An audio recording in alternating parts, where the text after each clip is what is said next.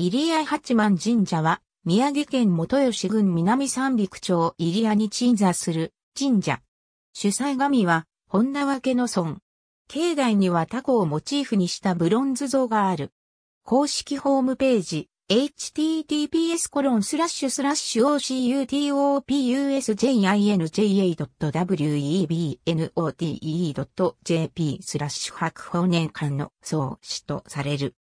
龍福と渡る僧という兄弟が北の奥山に潜み住んでいて、凶作をもたらした際に村人は困り果て、藤原秀衡にその討伐を要請したところ、源義経が二人を退治した。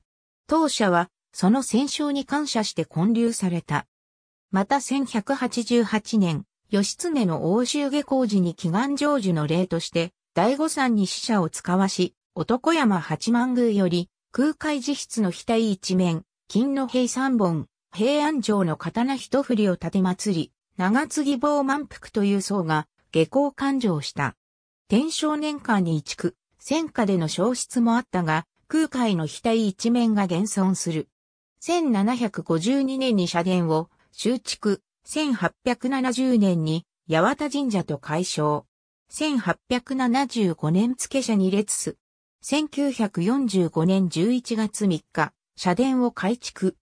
当地は西の明石、東の静川と称されるタコの産地であり、タコの英語名、オクトパスは、オクト、パスの語呂合わせからタコ型の文鎮が受験グッズとして販売されている。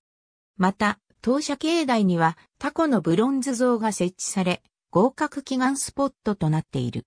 入谷八幡神社の御朱印は片面300円、見開き500円の2種類オクトパスくんのハンコが押されていてとても可愛い。ありがとうございます。